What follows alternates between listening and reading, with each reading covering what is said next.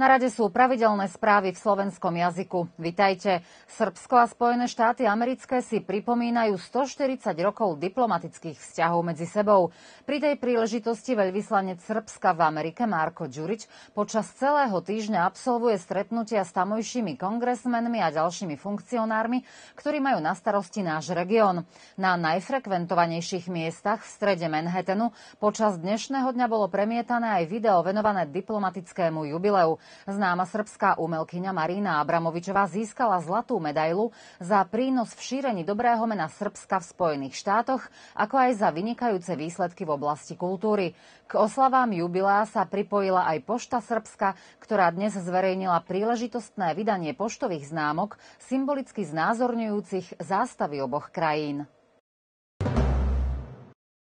Minister zahraničných vecí Číny Wang Yi je na trojdňovej návšteve Grécka, Srbska, Albánska a Talianska. Sú to tradične priateľské krajiny, s ktorými Čína spolupracuje v rôznych oblastiach, ako je napríklad aj realizácia projektu Pásmo a cesta. V rozhovoroch s najvyššími predstaviteľmi štátov sa čínsky minister sústredí na ďalšie formy prehlbovania vzťahov a poskytovanie podpory v realizácii plánov so spoločným záujmom s dôrazom na ochranu multilateralizmu a medzinárodnej pravdy a spravodlivosti. V najbližšom období bude zvýšená kontrola používania bezpečnostných pásov v autách a používania bezpečnostných sedadiel pri preprave detí. Dopravná polícia si tak overí vedomosti a zručnosti, ktoré 1600 policajtov získali počas viac mesačného výcviku v 27 policajných okruhoch. Absolventi majú za sebou teoretickú časť, ako aj simulované nehody a teraz ich čaká praktická časť na cestách. Použitie bezpečnostného pásu znižuje riziko smrti o 50 a o 30% je menej zranení. Pre nepripútaných cestujúcich je stanovená finančná pokuta 10 tisíc dinárov a za neadekvátnu prepravu detí sa platí pokuta aj do výšky 120 tisíc dinárov. Tomto období sa realizuje rehabilitácia štátnej cesty 2. A radu číslo 127 v časti Golubince Stará Pazova a to v dĺžke 9,6 km.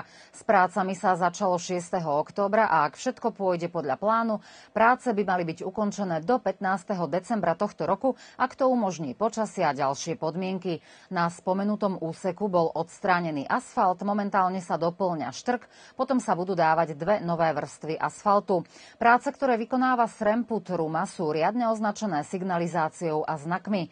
Investorom je verejný podnik Putevy Srbie a z tejto inštitúcie apelujú na občanov, aby boli trpezliví a aby prispôsobili rýchlosť jazdy v tomto úseku podľa dopravného značenia.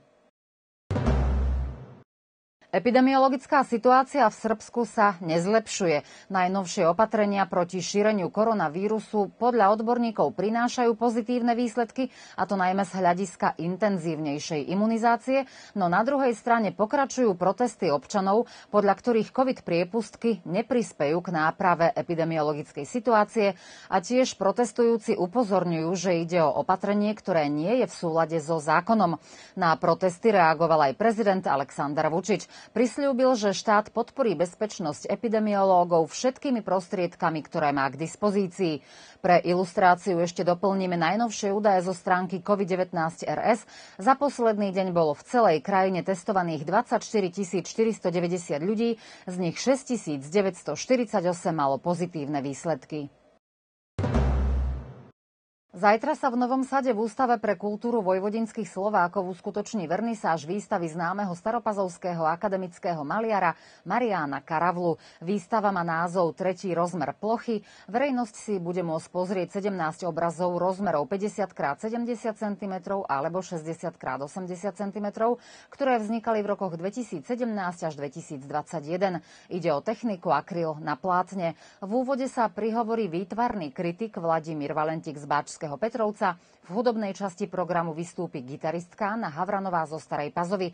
Začiatok otvárania výstavy je naplánovaný zajtra o 17. hodine a výstava potrvá do 12. novembra.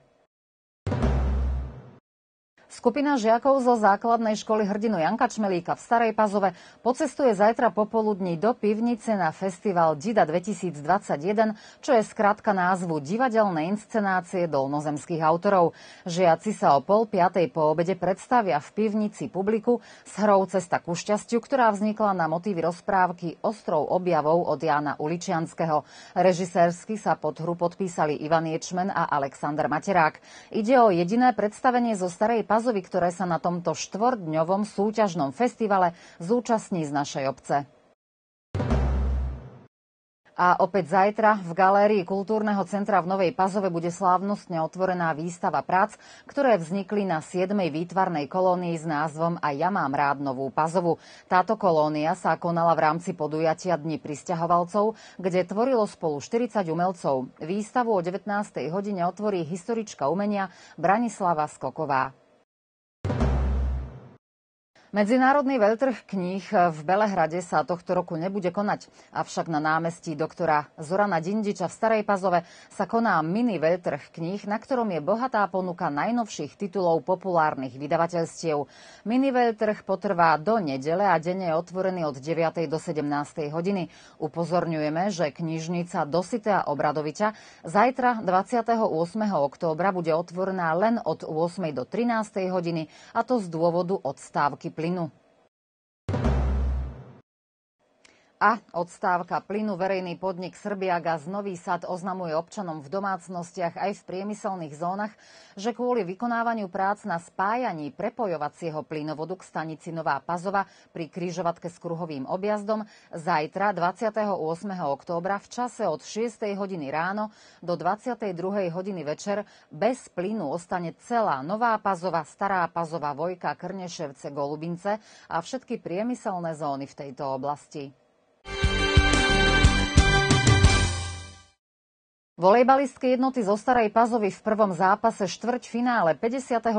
pohára Srbska zvíťazili nad Červenou hviezdou výsledkom 3-1 po okrúhlych 100 minútach hry. Najšikovnejšie hráčky v domácom týme boli Miňa Osmajčová a Branka Tica, ktoré získali po 19 bodov. Revanš sa bude hrať v nedeľu v Belehrade. Volejbalistky jednoty už za dva dni čaká ešte jeden zápas a to v Subotici, kde si zahrajú proti družstvu Spartak a ide o hru v rámci rámci 5. kola Banka Poštanská štedionica Superligy Srbska.